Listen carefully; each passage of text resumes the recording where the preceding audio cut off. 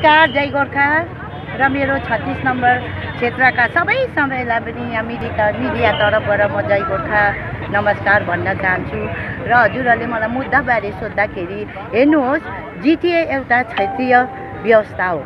यसमा विशेष गरी विकासको कुरा आउँछ र आज हेर्नुहोस् बहुत साल बाद एउटा विकासको क्षेत्रीय मुद्दा उठाइ हामीले हामी यस उसमा गइरहेको छौँ चुनावमा गइरहेको छौँ। र म एउटा सरकारको सरकारको प्रार्थी भएकोले गर्दाखेरि मैले जब छत्तिस नम्बरको कोअर्डिनेटर प्रेसिडेन्ट भएको थिएँ त्यस समय पनि मैले समाज समाजसँग मिलेर चुनाव हुनु अगाडि नै मैले सरकारको एउटा सिपाही भएकोले गर्दाखेरि अग- अगाडि नै मैले समाज समाजहरूसँग मिलेर धेरै कामहरू गरिसकेको छु। जस्तै कि बोटको घरहरू बनाइसकेको छु। साथै कम्युनिटी हल सङ्गठनसँग मिलेर नारीको सङ्गठनसँग मिलेर सङ्गठनसँग मिलेर मैले एउटा कम्युनिटी हल बनाइसकेको छु। र अहिले पनि एउटा जो डुङ्ग्रामा कम्युनिटी हल छन् समाजहरूसँग बसेर मैले जहाँ चाहिँ सरकारी धेरै कार्यक्रमहरू त्यहाँ हुन्छ त्यहाँ पनि गएर मैले एउटा समाजले नै मलाई दिएको छ कि यो तपाईँले गरिदिनुपर्छ भनेर म एउटा प्रोसेसमा लागिरहेको छु अहिले चुनाउ हुन गएकोले गर्दाखेरि मैले त्यो गर्न सकेको छुइनँ।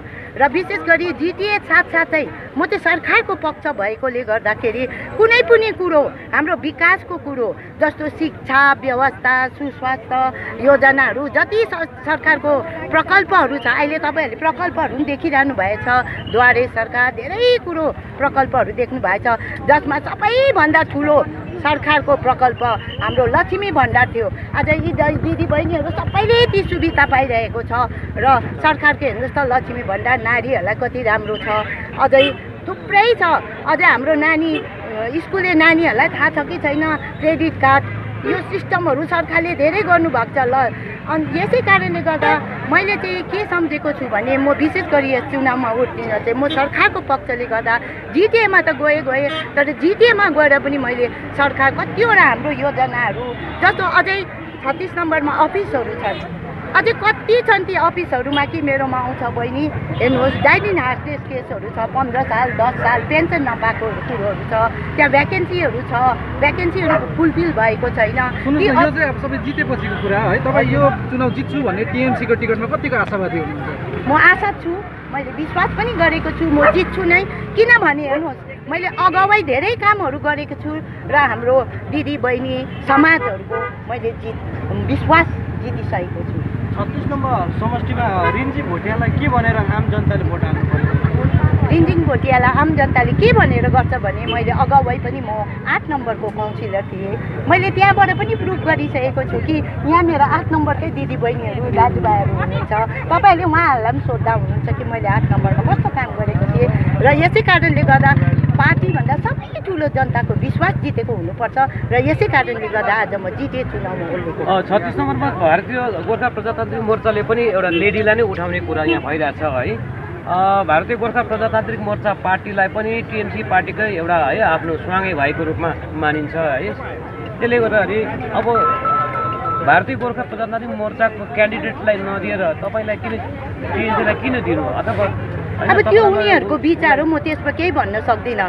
बेसी बोले उहाँ त गणतन्त्र हो गणतन्त्रमा जो पनि उठ्नु पाउँछ चुनावमा त्यसै कारण म त्यसबारे बोल्न चाहदिनँ। खालि म के भन्छु भने म सरकारको सरकारबाट निस्केको हो। सरकारको पक्षबाट यस जिटिए चुनावमा ओर्लेको छु र मेरो छ जति पनि छत्तिस नम्बरका दाजुभाइ दिदीबहिनीहरूलाई म यहाँबाट पनि भन्न चाहन्छु कि विकास गर्नु हो भने चाहिँ हामी सरकारकै प्रार्थीलाई जिताउनुहोस् भने म तपाईँलाई धन्यवाद दिन चाहन्छु र अझ अरू पनि म के भन्न चाहन्छु भने चाहिँ कतिले जिटिए चुनाव बहिष्कार गरेको छ तर यो त कुनै मुद्दाको होइन यो सिर्फ विकासको हो। त्यसैले गर्दा यी बहिष्कार गरेका जति पनि छन् तपाईँहरूले पनि एउटा मनमा हात राखेर कुन कुन प्रार्थी चाहिँ राम्रो छ पार्टी नहेर्नुहोस् कुन प्रार्थी राम्रो छ र हामीले कसलाई भोट हाल्नु यो चाहिँ तपाईँहरूलाई यहाँबाट म बिन्ती गर्न चाहन्छु कि तपाईँहरूले यो सम्झेर नै भोट हाल्नुहोस्।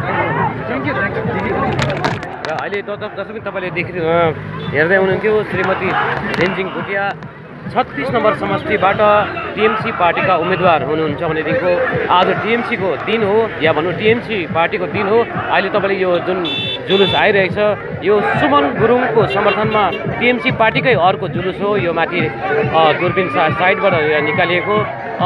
सुमन गुरुङ जो पैँता पैँतिस नम्बर समष्टिको निम्ति टिएमसी पार्टीको उम्मेदवारको रूपमा आज नामाङ्कन भर्न आइरहेका छन्। सुमन गुरुङ। आज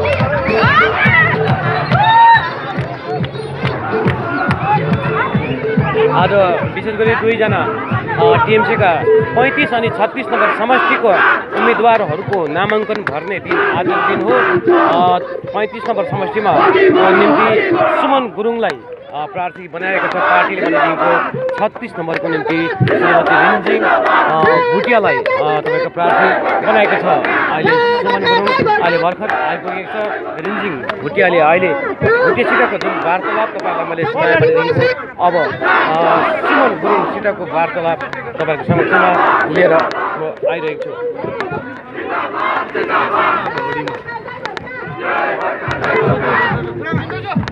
Bota no seu na sua mão.